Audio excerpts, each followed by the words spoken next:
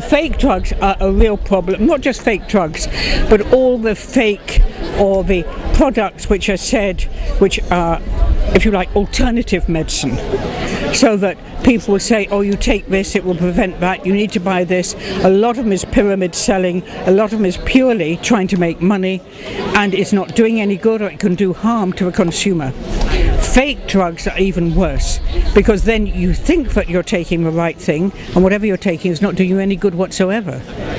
So the, the government tries to control the, the drugs that come into the country, they're tested, etc.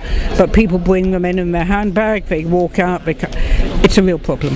But most proper drugs, well, not fake ones, at least the boxes they're in will have a code, etc.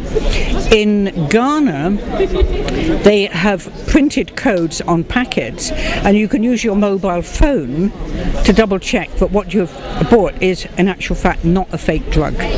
So it will come. There are ways of getting around and checking and making sure that what you've bought is what is good for you and is not a fake product that someone has changed for packaging to look like the real one. What are the harms that it can cause to the body? But it depends what's in it.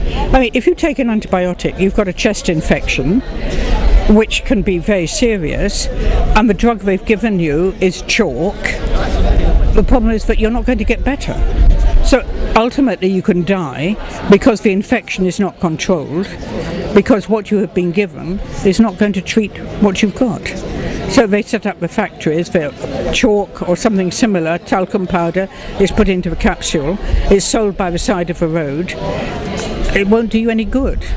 The harm may not be that the drug itself is harmful, but it's not doing you what you need for what is wrong with you. So your blood pressure may go very high and you have a stroke because the drug that you have been taking hasn't taken your blood pressure down, but you thought you were taking something which would control your blood pressure.